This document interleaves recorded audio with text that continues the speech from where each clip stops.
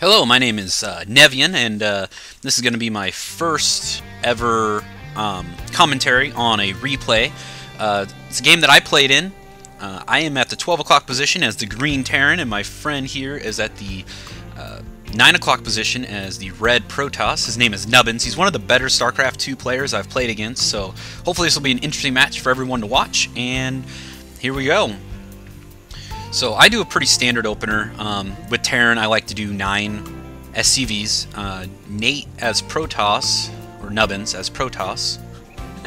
Looks like he's going to be doing eight probes into a scout. And I am doing my nine. I kind of forgot where the entrance was there for a second. Um, into a supply depot, and I'll be sending out my scout here momentarily. So he comes straight to me. He finds me right away. Uh, that's big advantage. Uh, I hate it that I always seem to go the wrong way right off the bat.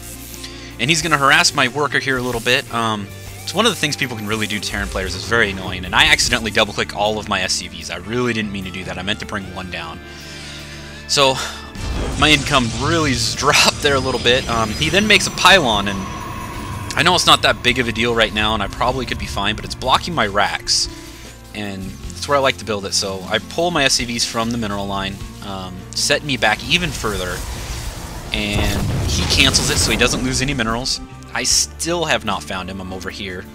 Um, I'm getting back into play here, and I'm way behind right now. He is on his first gate.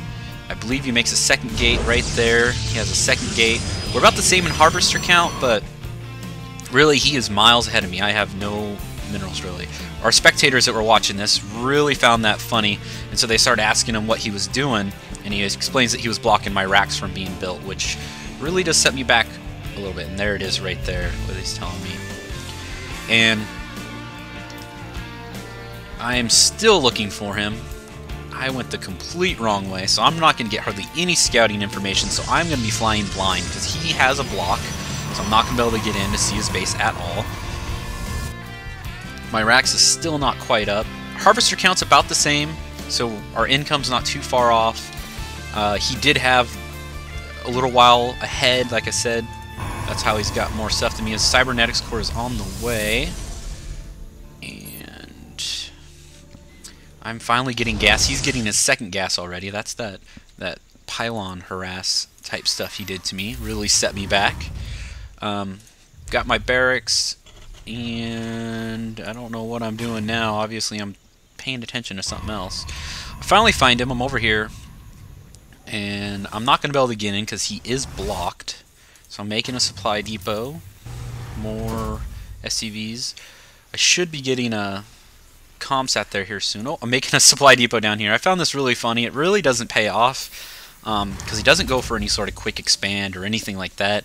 Uh, it works well against Zerg a lot of times doing stuff like that, either with Toss or Terran, but against Protoss, probably not the best idea. not very bright. He's got two Stalkers on the way. Like I said, he's already got his gas already going. And he's putting a pylon out here. He's blocked off completely. So this pylon out here is going to allow him to warp in all of his Stalkers and ground units out here which is very good positioning on his part.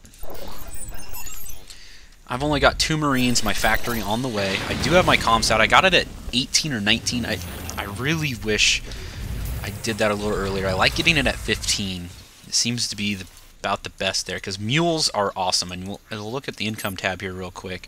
Uh, he has more harvester than me, but my income is higher than his most of the time, either right at the same or a little bit higher. And that's that mule kicking in. It really does do a lot. They're about they net you about 300 minerals, and so you can really get ahead in the game using mules as Terran. So I got a second racks on the way. Factory is now done, and I'm putting on a tech lab. Um, I'm probably going to be going tanks, marauders, marines. That's one of the builds I really like doing. Um, I believe I get some ghosts too. Yep, Ghost Academy is already going up. Uh, ghosts are really, really strong against Protoss. Their EMP rips through their shields really well. Um, if they have a High Templar or Sentries, it really takes away their energy so they can't get those buffs that they need against you. So that's the, the way I'm going right now. We got tank on the way. Not oh, and a starport. That's probably going to be for some medevacs.